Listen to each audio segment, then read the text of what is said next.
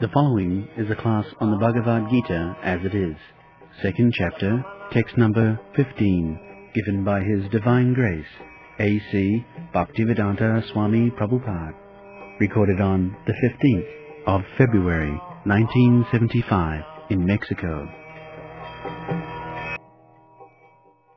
Yamhina Bhakanti Iti Purusam Purusar Sada sukham Sukhamadhinam so amritaya kalpati.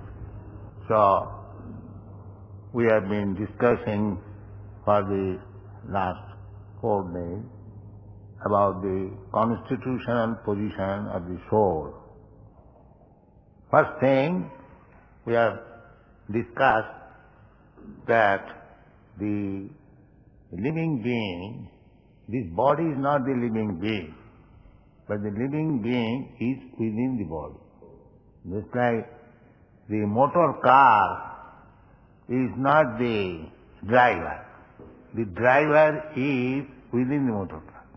Now, the driver or the soul within the body is immortal and it is transmigrating from one body to another. So, this transmigration from one body to another is not very good business. Just like if you are living in some apartment and you have to change immediately for another, immediately for another, do not get disgusted. Naturally, we desire that if I get some permanent apartment, it is very good. Actually, we want that. Nobody wants to die. Even a person or living being in the most wretched condition of life, if you propose, then let me kill you, he will not agree. Therefore, the psychology is that every living being does not want to die. So, but actually we are not subjected to death or birth, that will be discussed. We have somehow or other, by chance or by coincidence, we have acquired this material body. Actually it is not by chance, but we wanted to lord it over the material world. Therefore, we have got this material body. So everyone in this material world, either human being or animals or birds and beasts, is trying to be the Lord of the universe. Therefore, if we actually want relief from this constant change of transmigration, then we must prepare for that. We have already discussed that we can get our next life as we prepare for it. If I like, I can go to the higher planetary system. If I like, I can go to the lower planetary system. If I like, you can go to the beastly life or godly life as I desire, I will get. The Lord is situated in my heart, in, in your heart, and He is working, He's staying, he, he hasn't got to work, He's staying to see my activities. And He also understands what is my desire. Accordingly, He offers a machine. This is a machine. It is said, Jantra Rurhani Maya. Jantra means machine. So, just like in our car, we can travel here and there. Similarly, on this machine of body, we can go anywhere. So, as human being, we should know that why I am wandering in so many places, in so many species of life, and in so many planets. Why? Can it not be stopped for a permanent life? This should be the consideration. Therefore, Sri Chaitanya Mahaprabhu says, এই রূপে ব্রহ্মাণ্ড ভ্রমিতে কোনো ভাগ্যবান জীব গুরু কৃষ্ণ কৃপায় পায় ভক্তিলতা বীর The living entity in this way, wandering in different species of life, in different planetary platforms. Therefore, this is very disgusting. So if one is fortunate, then he comes in contact with a devotee. This Krishna consciousness movement is meant for giving this opportunity to everyone. We are opening centers all over the world, inviting people to come in our place, understand the philosophy. We have got so many books and try to save yourself from this botheration of repetition of birth and death. In order to execute this business, apparently there is little difficulty. Just like we prescribe to our members, no intoxication. No intoxication, one who is habituated to drink, to smoke, to drink coffee, tea, etc., he feels some discomfort. Similarly, we say no meat eating. So those who are meat eaters, they will find little difficulty to give up this habit. Similarly, we say no illicit sex. But one who is habituated for this illicit sex life, he feels some difficulty. So there are so many things. In the beginning, it appears to be little difficult. Actually, it is not difficult, but because we are habituated, we feel difficult. So, if you are actually anxious and serious to stop this repetition of birth and death, then we must take to Krishna consciousness. Because without Krishna consciousness, nobody can stop the repetition of birth and death. Therefore, Krishna advises in this verse that accept this little difficulty. Actually, there is no difficulty, but because you have practiced, in the beginning we find little difficulty. Therefore, here Krishna says, Jang hina bathayanti ete, all these so-called difficulties, if they do not bother, give some pain to a person. Just like I am feeling difficult. I am habituated to smoke. Now I am forbidden not to smoke. So I am feeling difficulty. So therefore Krishna says, so although it is not difficulty, but although one feels difficulty, still he sticks to the principle, then he becomes fit for going back to home, back to God. So, Indriyani Pramathani, in the Bhagavad Gita you'll find, our senses are very strong, like mad snakes. There is some statement in Vedic literature, Indriya Kala Sattva Patali. Indriya, the senses are just like dreadful snakes. But there is a means to subdue the snake. It is said, Indriya Kala Sattva Patali Pratkhata.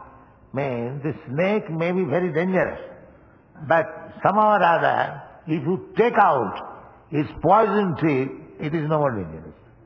The snake is dangerous on account of the poison teeth. So if somehow or other the poison teeth extricated, then the snake is no more dangerous. So our strong senses, snake-like senses, can be bereft of the poison teeth by accepting Krishna consciousness. So the simple method offered by Sri Chaitanya Mahaprabhu is this chanting Hare Krishna mantra. He says personally, Cheto Darpana Marjanam Bhava Mahadavagni Nidvapanam means by chanting Hare Krishna mantra, your heart will be cleansed. And as soon as your heart is cleansed, you can feel everything in its proper order. So when the heart is clean, we can understand our real position and how we are suffering and how to take steps against this suffering. This is called Bhava Mahadavagni extinguishing the blazing fire of material existence. In this verse, it is mentioned again, Dhiram. Dhiram means very sober. In the beginning, Krishna said, Dhira satanamayati. Dhira means one who is sober. He is not bewildered. So, dhira means that although there is cause of disturbance, one is not disturbed.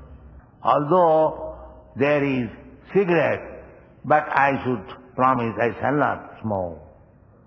Although there is facility for illicit sex, I will not do it.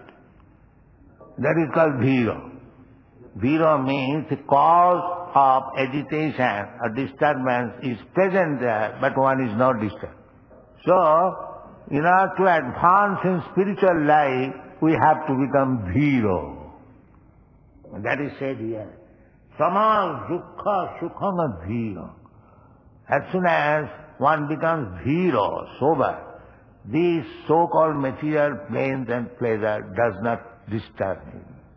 Then he is fit for becoming immortal. Everyone is immortal, but he is fallen in such material condition that he thinks himself as mortal. Because I am spirit soul, that was the bathing injunction, is a field. Aham Brahmasmi, Soham, means I am as good as the Supreme Being. Means He is eternal, I am also eternal. He is also living being, I am also living being. That means qualitatively we are one, God and we. But quantitatively He is great, we are small. So we have to realize this, that we can become eternal, immortal, all qualified like God, uh, if we get out of these material clutches.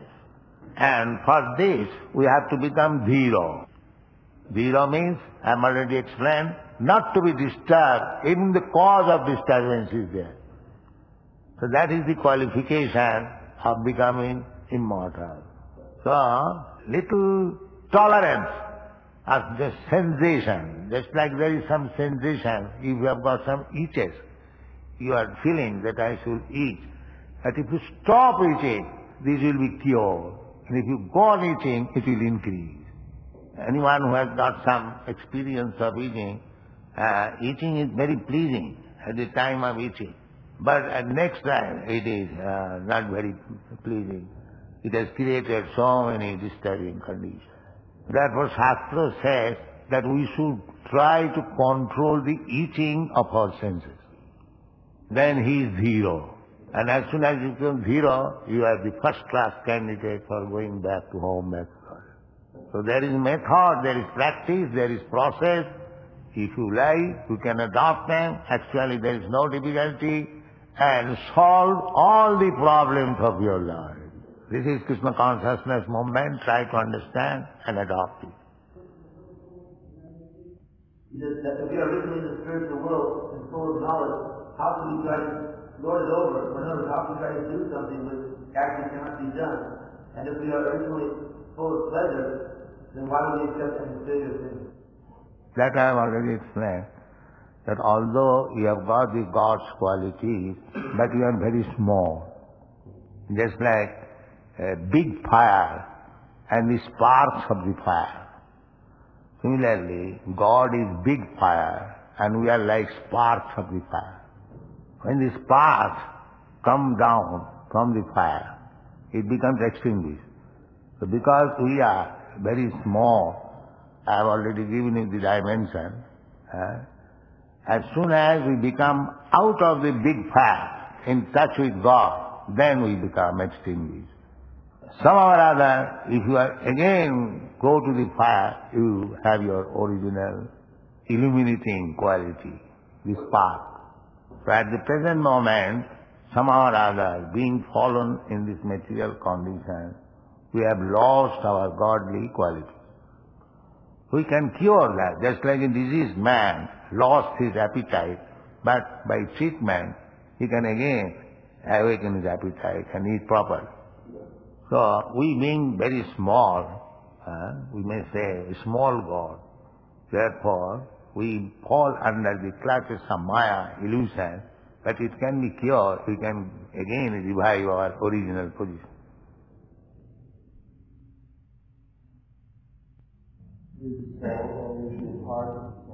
No, the soul is part of the Lord.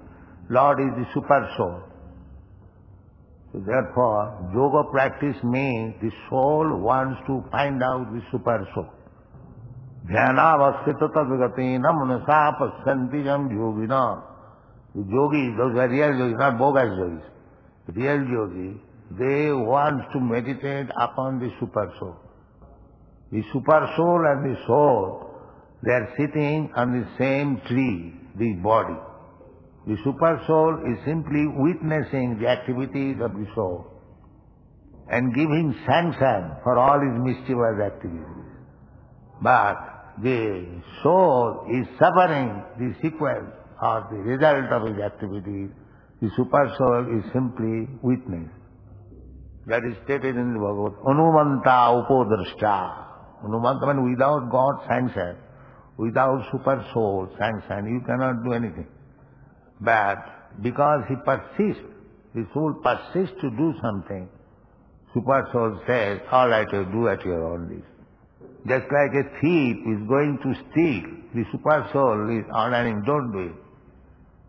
Because without God's sanction he cannot steal. But when the thief persists, then he says, all right, you do at your risk. This is the position of the super soul and the soul. Does the soul with his mind or is he always enjoying it? Yes, he creates. He's thinking in his own way. Therefore, he's creating a situation which will be botheration for him. If we have some small white, why is the poison of the senses? Poison? Of the senses. Yes. Since because we have come to the poisonous condition, the senses has become poisonous. Just like if you go to an area where there is infectious disease, you contaminate and suffer from the disease. So it is your duty not to go such a place where there is contamination. It is up to you. You create your own situation, suffering or enjoying.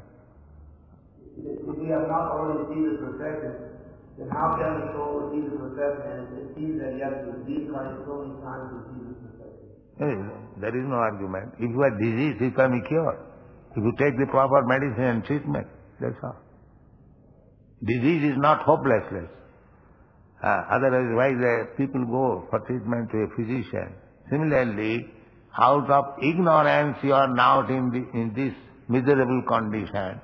But if you become treated by bona fide spiritual master, then you will be cured. Originally, every one of us pure. Now, by material condition, we are now contaminated. But there is process to get out of this material contamination, then again we become pure. And as soon as we become pure, there is no more birth, death, old age and disease. Finished. Just become Krishna conscious and Maya will not touch you. Just like you take injection, vaccine, and the infection will not touch you. That is stated in the Bhagavad Gita.